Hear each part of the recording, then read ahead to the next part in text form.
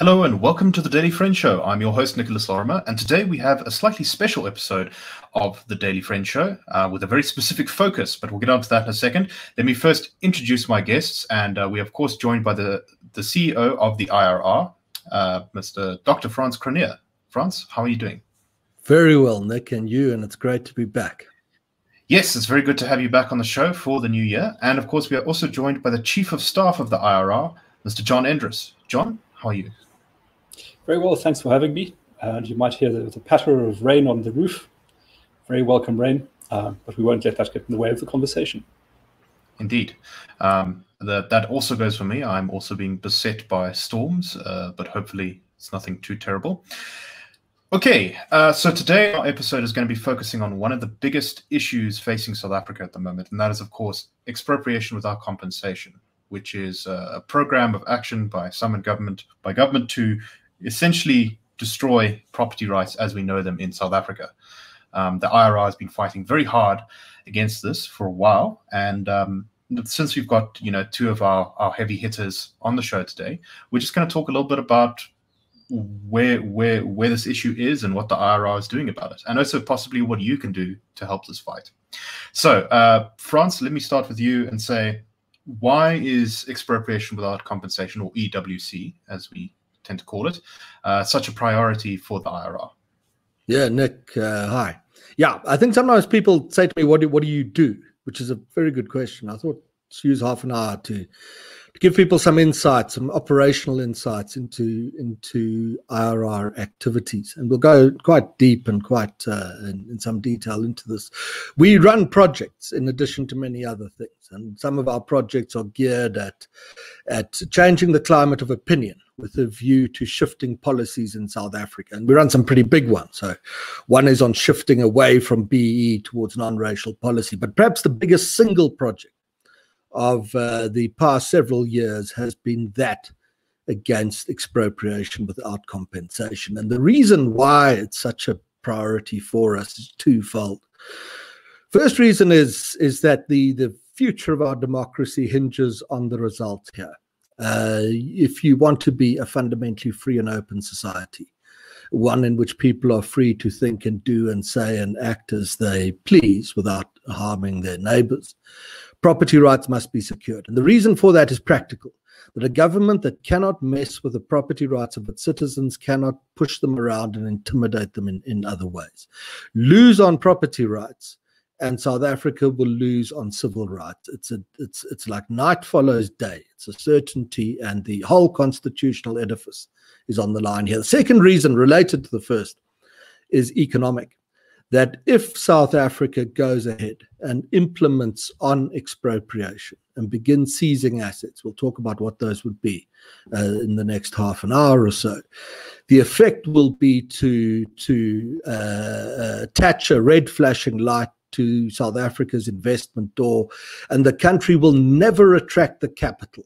It's a capital hungry country, never attract the capital foreign or domestic, investment, in other words, necessary to get the, the rate of growth up to a point at which the economy is able to, through job creation and the like, fundamentally improve the lives of its citizens. So if EWC goes ahead, you you you condemn literally millions of South Africans to a long-term future of poverty and desperation. They'll then, of course, Nick, become very upset at this state of affairs, and their anger will be harnessed by the populist politicians to erode the constitutional edifice and expropriation on its own therefore take south africa to a place where the economy shot later on and and uh, the democratic uh, breakthroughs of 30 years ago are lost.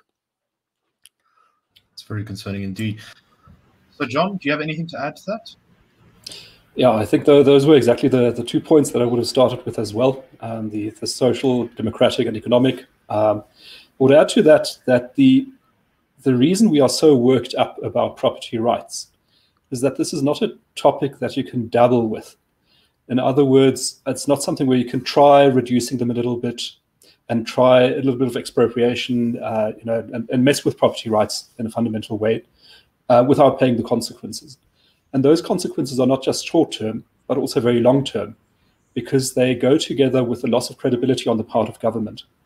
And to illustrate this, just think of Zimbabwe, which started with uh, meddling with property rights in the early 2000s um, and never recovered from that. Um, and the reason for that is that even if today the government of Zimbabwe were to come out and say, from tomorrow, we are guaranteeing property rights, you have nothing to fear, you have nothing to worry about, nobody would believe them, and they would be right not to believe them. And therefore, you know, we, we see this as a sort of one-way road that we're heading down at the moment, from which it is very, very difficult to come back. And that is why we're trying to prevent the country from heading down that road in the first place. That's like pregnancy, Nick, property rights. you, you are or you're not. You, you don't you're not a little bit pregnant. And you don't have a few property rights, but at other times you don't. And what's great about John, John's also got Venezuelan experience, which is mm. a rare thing in in this uh, field. And uh, I mean, what in talking to him since he's joined us, the the the the the narratives, the policy steps that are being followed here uh, echo quite closely uh, what happened in Venezuela when that society sort of stepped off the brink and and collapsed into morass of terrible horrors. John, correct, um, and it, it also transforms all economic planning into short-term economic planning. So, in other words, uh, as, as a Venezuelan at the moment wanting to invest or wanting to run a business, you can't make long-term plans. You know, you'll try to to get as much profit as quickly as possible on whatever activity you can do, but you're not going to, you know, build a business that will prosper over a period of 20 years because you might not have it two years from now if it gets expropriated. So for your for you to be able to have a time horizon to work on, uh, to, to generate assets, to generate production, to generate wealth, you need the security of property rights. When they are curtailed, then that time horizon becomes very short and it distorts the kinds of economic activity that go on in an economy and it makes it ultimately very unproductive. That's very concerning. The more I hear about Venezuela, the more my sort of blood turns to ice in my veins because it seems very uh, familiar. Um, let's let me just briefly go down a little side road here because I think we do need to sort of talk about this. And this is what our opponents say about our efforts to oppose EWC. They'll say, you know, we're simply protecting uh, white privilege. We're preventing urgently needed land reform, without which, as Julius Malema said, there will be uh, slaughter and genocide and all sorts of terrible things if we don't have land reform. Why are they wrong? Well, it's crap, Nick. The they they're wrong in in every respect. What uh, needs to happen here, if South Africa is going to become a prosperous and middle class society, is that uh, black South Africans need to be afforded. Let's just talk about agriculture, then we'll go into why this is happening later. Black South Africans need to be afforded the same advantages that white South African farmers have enjoyed over a very long period of time. And in the main, those advantages were, were threefold. One was access to cheap capital, and we, we're strong on that for black farmers. The second is very strong support services and extension services. Now, the state's been hollowed out, it can't do that anymore, but the private sector certainly can. And the third and the most critical ingredient is title the ability, the right to say, This is mine, I own it. The black farmer sitting on his own stoop, title deed in his hand, farming away.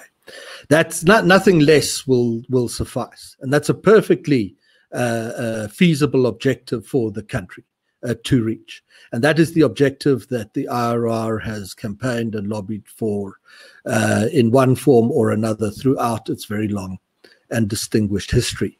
So this this is in, in fact it's the, the, the critics get it precisely and perfectly wrong. The expropriation policy as proposed by the government will assure uh, uh, that South Africa remains a country in which black South Africans are excluded from meaningful participation in the in the economy and uh, live lives of dependency and poverty.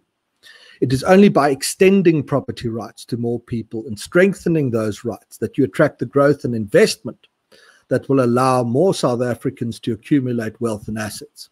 The Institute's objective is is very much that it has never changed, not for almost 100 years. That's how long we've been around, just short of that. And that is exactly what it remains.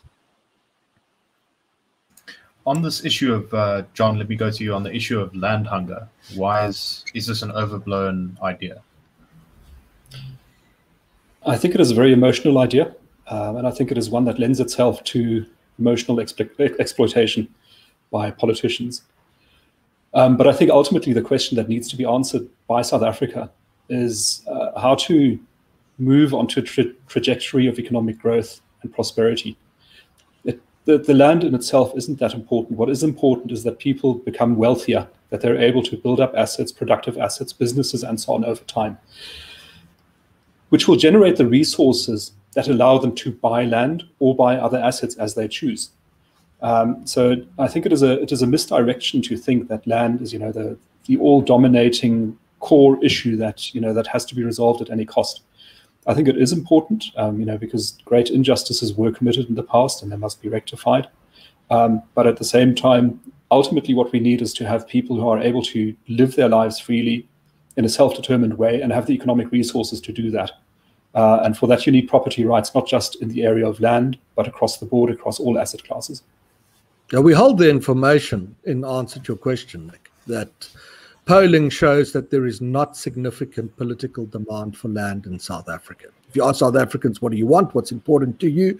What will improve your life? The answers are, I want to go to a city and get a job, run a business, put my kids in good schools. Exactly as as as as would happen in any uh, advancing society. We're not.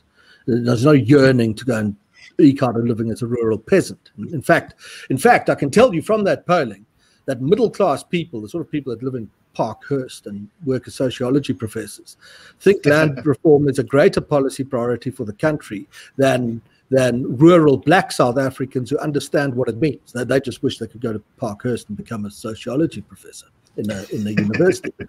And I can tell you further, I dare them to deny it, that ANC polls uh, asked what opinion surveys, what, what do you want the ANC to do for you? And ANC members uh, land reform was 13th on their list of what they wanted the party to do. Now, you, as a listener of this program, list the 13 things you want the ANC to do for you. You'll start running out of things at number five or six. 13, it's not a major issue. There's no mass demand for land. If land isn't redistributed, the country won't collapse into a morass of revolution. That's fear mongering nonsense. Um, uh, uh, what, what, if we do collapse into such a morass, it will probably be in part because we pursued expropriation and did never met the expectations of people. Now, listen to what comes next. That does not mean we think that this is an unimportant issue or one that should not be addressed. And the historical dispossession of people must be if you lost land in South Africa as a consequence of the racist policies of the past government, you deserve to be compensated. But that compensation is a societal good. It does not have to be paid by the individual who happens to own now, decades later, a productive business that he has bought and paid for through the market. If it has to be financed, it must be financed through through taxpayers. There are other avenues as well that we have proposed. Sometimes ignorant people say, oh, "You say nothing, no lad." It's nonsense. That's not what we've said. We've got great ideas. One of them, for example, and then I don't want to get too much into the ideas. I'm going to go on with this. Is that uh, is is financing and access to capital? That if you're a hundred percent black farmer, you can borrow from the land bank, which is now in a mess because it's managed so badly, at 0%. If you're a 50 50 black white partnership, you can borrow at half the commercial lending rate. And if you're an established white commercial farmer, you can borrow at the commercial rate. What that would do at once is that a great number of white commercial farmers would run around looking for partners with which they could buy new farms and start new businesses. And, and within a very short period of time, uh, this, the, the, the agricultural climate would, would be transformed, not by eroding property rights, but by strengthening those rights and by addressing past wrongs. So this thing can be dealt with, even if it is a critical political issue, much better ways than, than by going through expropriation. So if expropriation isn't really needed or, or isn't isn't needed, isn't uh, demanded by people, where does EWC come from? Why why is it coming out of the ANC, the SACP, the, the EFF? From the ANC's perspective, for very good reasons. Uh, one is that the party is running out of money. that it needs to govern the country. The deficit debt levels are at alarming highs. The, the deficit now, the difference between what the government spends and earns, is at a level that the country last saw in the aftermath of the Rubicon speech when apartheid was collapsing. And before that, the Second and First World Wars. And this in an era of global economic recovery. So they've run out of money. They don't want to borrow money from the IMF because they'll lose sovereignty. They don't want to print yet because they're a bit nervous about the consequences of what that would be. But there are large pots of money in the country in in uh, uh, health insurance products, savings and pensions, etc. And the expropriation drive for some ANC leaders is a, a foil, a land expropriation, to backstop future prescribed assets policies because there is no such thing like the land reform bill. The business media reports on a land reform bill. There is no such uh, legislation. There's only an expropriation bill.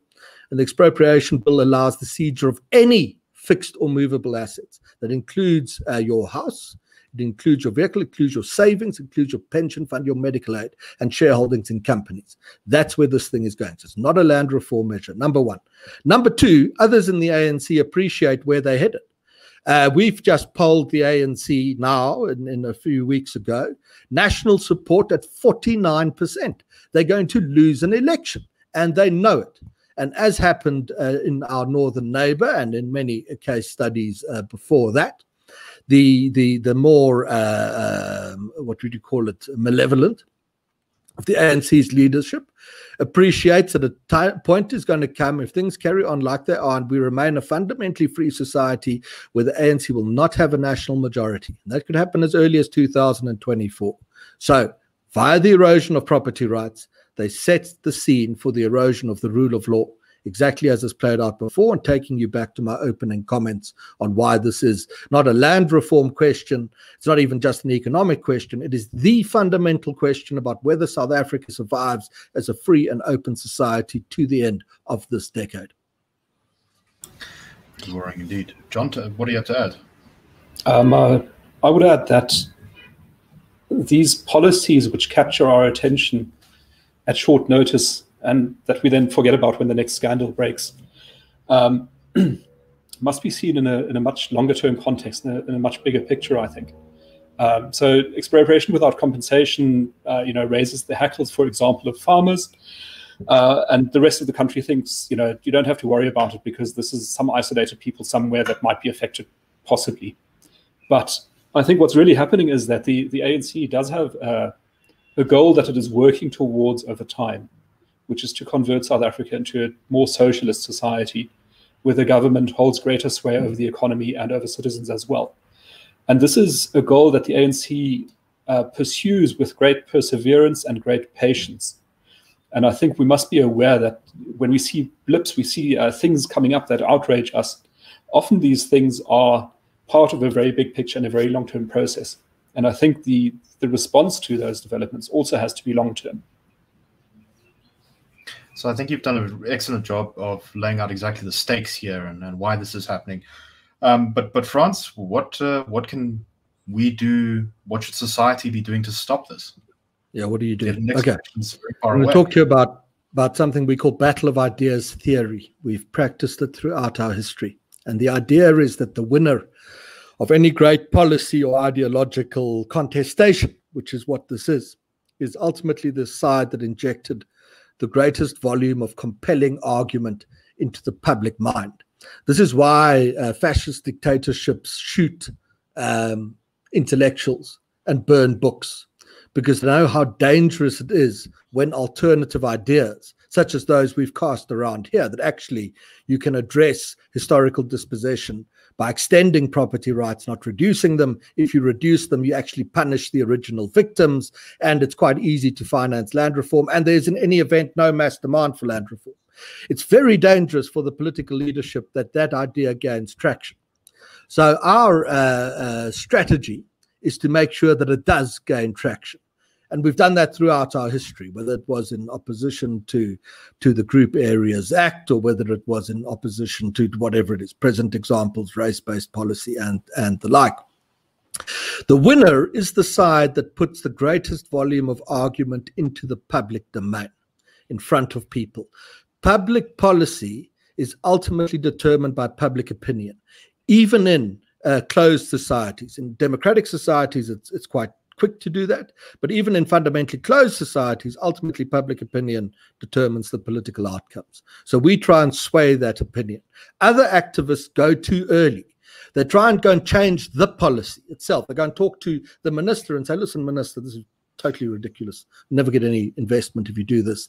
If you don't change the climate of opinion initially, so that the minister feels under pressure to change this because the mainstream business, the media, society, civil society, churches, academics begin to press against it, you're not going to change. The minister might concede. Many in the ANC do. They don't think this will work. They, they terrible idea. But they'll proceed with it regardless because there, there are other things at stake, prescription and destroying the democracy. So you shift that. In the case of of of let's get into some of the detail. What we actually do in, in the case of expropriation, we've we built a, a lobby. Lobbies run by a team of staff, and every morning they move through every uh, comment made about South Africa that has a mention or implication for property rights. If a very compelling argument is made that property rights should be removed because they underpin poverty or cause poverty or re- removing property rights will attract investment and and that was seen by a large number of people and was perhaps quite cleverly worded, even, even though it was nonsense, we will respond to it on that same platform.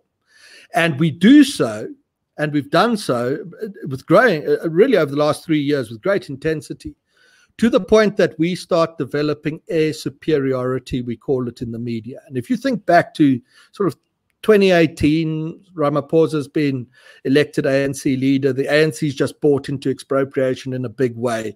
There was a vast amount of crap again written about this is great. This will bring justice to society. Will bring growth. We'll we'll do expropriation in a way that doesn't remove investment. A lot of that has been pushed out of the mainstream thereafter and opinions have become much more guarded much more careful even amongst uh, the more left in our society. And that is a direct function of the lobby we drove. And we know that because we count this stuff. We actually monitor this media thing very carefully. And our efforts were the single biggest source of anti EWC information to enter the public domain in South Africa over the past three years. That's tier one, and it's the most essential tier command public opinion and shift it, and you will command policy. And as a consequence of those efforts, we know that the ANC put the brakes on eh, from moving to test cases of expropriation of farmers that, that would be used later to open the way to expropriating everything else, including your pension, because of the the the, the, the manner in which public opinion has begun to to to to to raise doubts. That was very good. On top of that, we build a second tier of strategy. And this is direct engagement with policymakers, uh, lawmakers, both in South Africa and around the world. It's a tactic used to great success by the ANC. Go global. I went to America to, to release a report about why uh, what was on the line with expropriation in South Africa, not just for the country, but for the interests of the free world. If South Africa, the great bastion of liberty on the continent, lost its way, and meeting with, with a South African official in Washington at the time, the person said to me, You must be very careful because people take you seriously when you're here and they'll listen to what you say. And I said, Well, why do you think we've flown all the way over?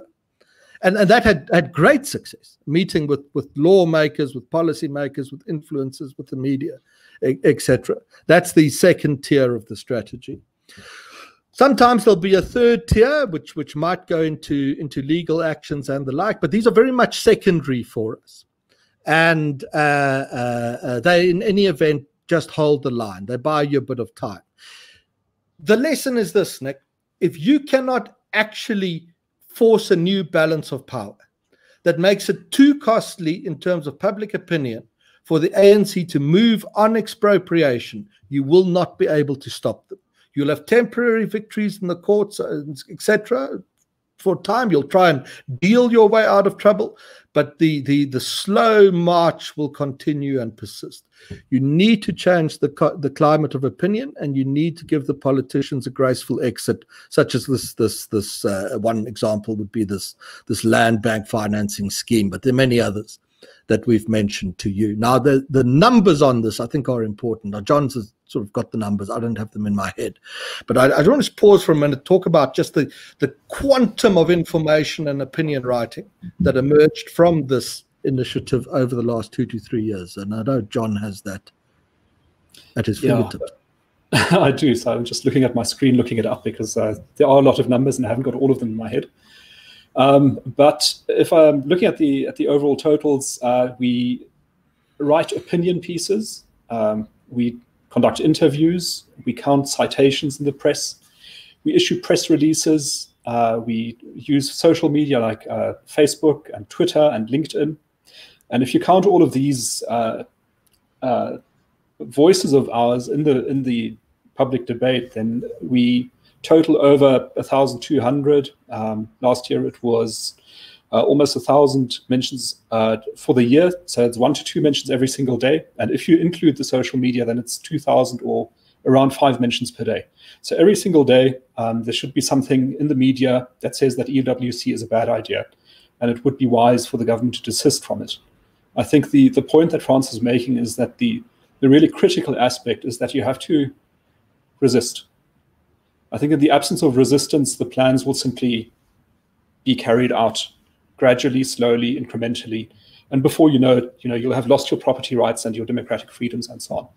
And it is therefore so important to make a stand, uh, to push back, and to show that there is uh, a, a, a, group in society which should actually re represent all citizens that stands for property rights and wants them to be preserved and also extended to those who don't have them at the moment.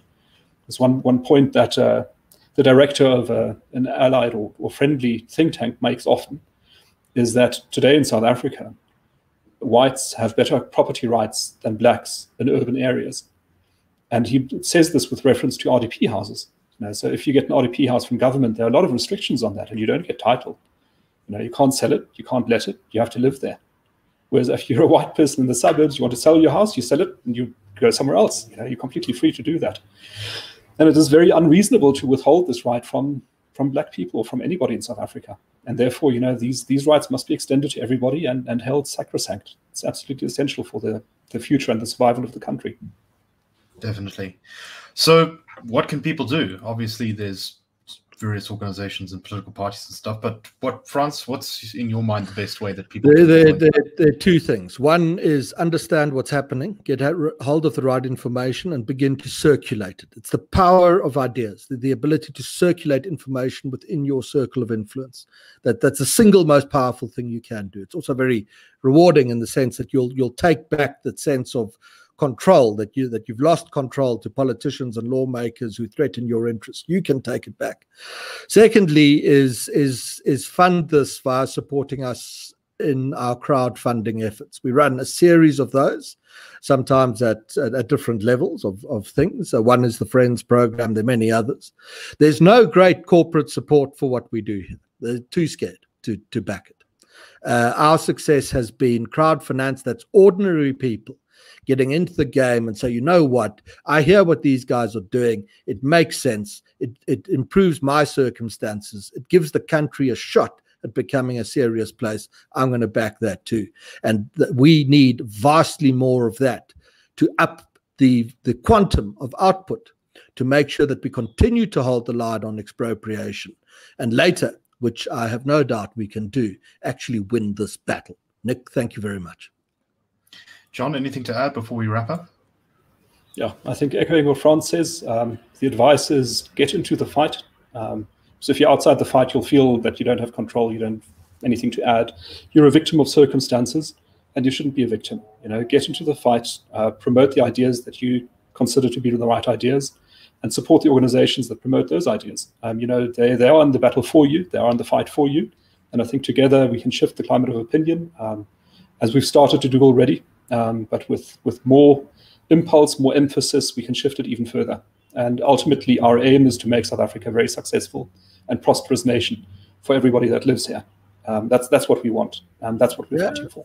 And if you don't do it, Nick, there's no one else that's coming to rescue you. Business isn't going to rescue. The diplomats aren't going to come charging in here. The the institutions that that do this stuff like we do, we depend on you completely for for for for the resources to have the effect that we do. If you want to beat this thing, you've actually got to get into the game yourself, and it's a very empowering thing to do. And if you haven't done that yet, look us up, uh, uh, learn more, get in touch, and and join us so that we can actually uh, uh, ensure that South Africa will get through this current slump and into the end of this decade be back on track to become the truly great country that its potential dictates it should be. And uh, you can start um, and helping us out. If you thought this video was interesting, important, uh, please share it on on any social media. If you're listening to this on audio only, please also uh, you can share the podcast. Um, also, go to our website irr.org.za and click the Join Us button um, to get more information there. You can also SMS your name uh, to three two eight two three, um, or alternatively, you can go to the dailyfriend.co.za where you can see the battle of ideas being waged by the IRR um, and uh, and yeah, all of that good opinion there. It's also great fun to read. So thanks very much everyone for watching. Uh, thanks to my guests for being on, and uh, it's uh, we shall see you tomorrow for another exciting episode of the Daily Friend. Keep the flag of liberty flying. Cheers, everyone.